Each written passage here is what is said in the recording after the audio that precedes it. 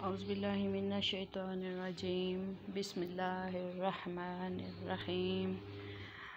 वालेकुम अज़ीज़ तलबात आज हम आपकी इस्लामियात इख्तियारी की किताब में से हदीस नंबर बारह पढ़ेंगे। हज़रत अबू रज़ी तु से रवायत है कि रसूल सल्लल्लाहु अलैहि ने फरमाया, मिन हुस्न इस्लामी मिन हुसन, मिन से हुसन खूबी इस्लाम इस्लाम की खूबी में से ये है कि अलमर आदमी तरकुहू छोड़ दे, उसे माँ जो ला नहीं, या नहीं, उससे फ़ायदा हो उसको। यानी कि मिन हुसन इस्लाम मर तरकुहू माँ ला, या नहीं, कि आदमी के इस्लाम की खूबी ये है कि वो इस चीज़ को छोड़ दे जिससे इसको कोई फ़ायदा नहीं है। रवाह तिरमज़ी से तिरमज़ी ने रवायत किया।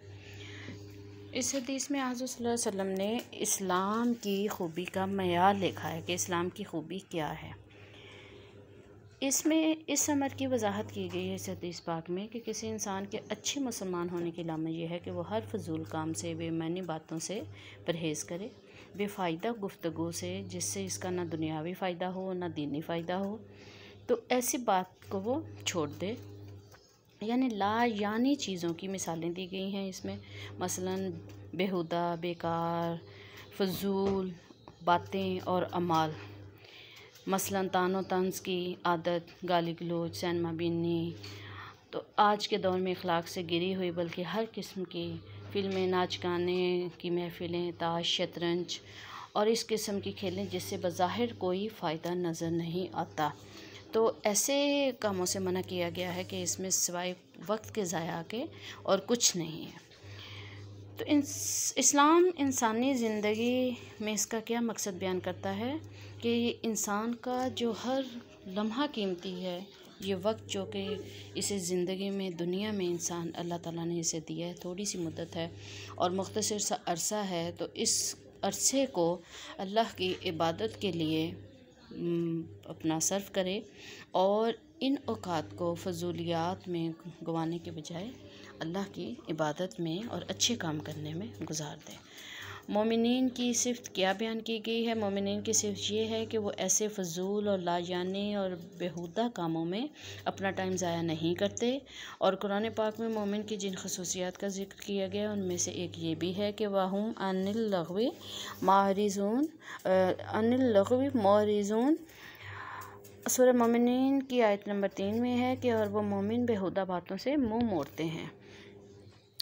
तो इसके फजूल गुफ्तु जो करते हैं लोग या हम इंसान तो उसके नुकसान क्या हैं? तो इसमें हजूर वसल्लम ने अपनी अदीस में इस बात के बारे में फ़रमाया है कि ला यानी अकवाल और अमाल की दुरुस्ती भी अदीस में बयान की गई है कि किस तरह ला यानी बातें जो हैं वो नेकियों को खा जाती हैं, जिस तरह के आग ईंधन को खा जाता है। एक और हदीस पाक में रसूल पाक वसल्लम ने फरमाया कि बंदा एक बात अपने मुँह से निकालता है जो अल्लाह की खुशनुदी की बात होती है। और बंदा इसका ख्याल नहीं करता, लेकिन इसकी इस बात की वजह से इसके दर्जे अल्लाह बुलंद करता है। और इस तरह आदमी खुदा को नाराज़ करने वाली बात ज़ुबान से लापरवाही के साथ निकालता है तो उसे वो बात जहन्नुम में गिरा देती है। तो इसलिए आज़ू फरमाया कि जब भी बात करो, अच्छी बात करो और मकसद वाली बात करो। इसके अलावा इस्लामी तालीमत का मकसद ही ये बयान किया गया है कि इसमें हर वक्त अपनी ज़ुबान की हिफाजत की जाए, क्योंकि ज़ुबान की हिफाजत जो है वो ज़रिए निजात है। आप वसल्लम के इरशाद का मफहम यही है कि इंसान मुँह से अच्छी बात करे या फिर खामोश रहे। मनसुम तो नजा। हजूर वसल्लम ने फरमाया कि जो खामोश रहा वो निजात पा गया। एक मरतबा आप ने अपने ज़बान मुबारक को पकड़ कर फरमाया, इंसान के लिए सबसे ज़्यादा ख़तरनाक ये है, इसकी हिफाजत निजात है। अगर इंसान जो भी गैर ज़रूरी माल और अकवाल से बचेगा, अपने अवकात को खुदा की हुक्मों के मुताबिक ख़र्च करेगा, इसके कौल और अमल में संजीदगी आएगी, शख्सियत पुरबकार होती जाएगी और दूसरे इसके इसी बारे में आज़ू वसल्लम ने हदीस पाक में फ़रमाया है कि अलमुस्लिम मन सालिमल मुस्लिमोना मिन लिसानी ही व यादी ही हकीकी मुसलमान वो है जिसकी ज़ुबान और हाथ से दूसरे मुसलमान महफूज रहें। तो इसलिए अपनी ज़ुबान से लाजानी बातों में टाइम सर्व नहीं करना चाहिए। अगली हदीस है, हदीस नंबर तेरह। हज़रत अनस बिन मालिक से रवायत है कि रसूल पाक वसल्लम ने फरमाया, काला ला योमिन फरमाया, ला नहीं, योमिन मोमिन होता। अहदुकुम, तुम में से कोई एक हत्ता यहाँ तक कि युहिब्बु, वो चाहे अखी ही अपने भाई के लिए, माँ युहिब्बु जो चाहता है, ली नफसी ही, जो अपने लिए चाहता है। तुम में से कोई शख्स उस वक्त तक मोमिन नहीं हो सकता, जब तक कि वो अपने भाई के लिए भी वही चाहे जो वो अपने लिए चाहता है। इसे बुखारी और मुस्लिम ने रिवायत किया है। तो इस हदीस पाक में आहजू सल्लल्लाहु अलैहि वसल्लम ने ईमान की हकीकत बयान की है, भाईचारे की अहमियत बयान की है। कि कामिल मोमिन वो होता है कि जो दूसरे मुसलमानों के लिए वही कुछ पसंद करता है, जो अपनी ज़ात के लिए पसंद करता है। यानी दूसरे मुसलमान की खुशी, राहत और सुकून को अपनी खुशी, राहत और सुकून समझता है और दूसरों के दुख और गम को अपना दुख और गम समझकर इसकी खैर खाही का जज्बा दिल में रखता है और फिर उसकी मदद करता है। हजूर पाक वसल्लम ने मुसलमानों को एक जिस्म की मानद करार दिया है। ये पहले और हदीस में भी यहाँ वसल्लम फरमाया कि तमाम मुसलमान जो हैं, वो मोमिन जो हैं आपस में एक जिस्म की मानद हैं। जब जिस्म के किसी एक उज़्व को तकलीफ़ होती है तो उससे पूरा जिस्म जो है, वो बीमारी में मुबला तकलीफ़ में मुबला हो जाता है।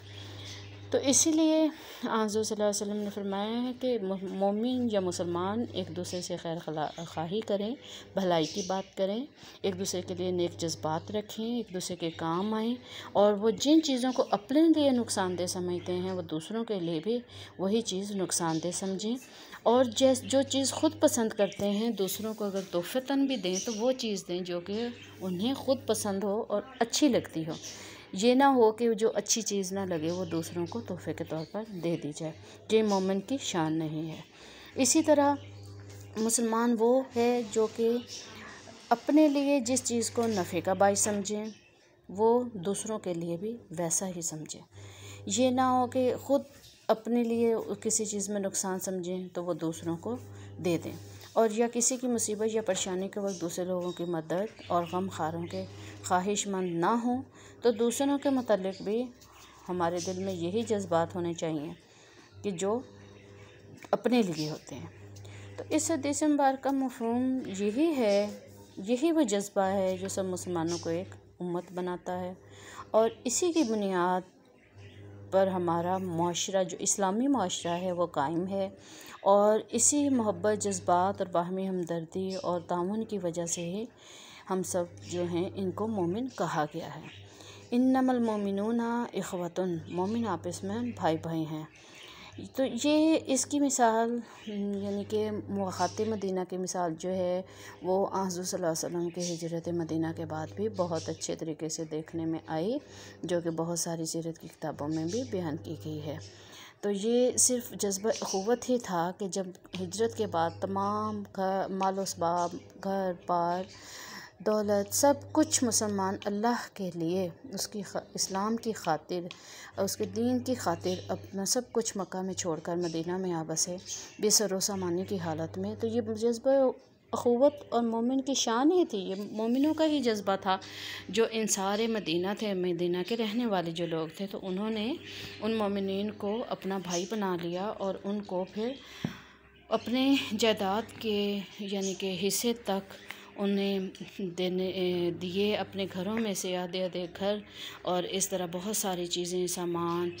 हती के बाज़ ने जिनकी, एक से ज़्यादा बीवियाँ थी, अपनी बीवियों को तलाक़ें लेकर उनके साथ निकाह भी करवा दिए। तो ये मोमिन की अखवत की, भाईचारे की, व ख़ात मदीना की अली तरीन मिसाल जो उस वक्त पेश की गई। अल्लाह ताला ने उसके बारे में, यानी कि ऐसे लोगों के बारे में आखिरत में बहुत बड़ा अजर रखा है।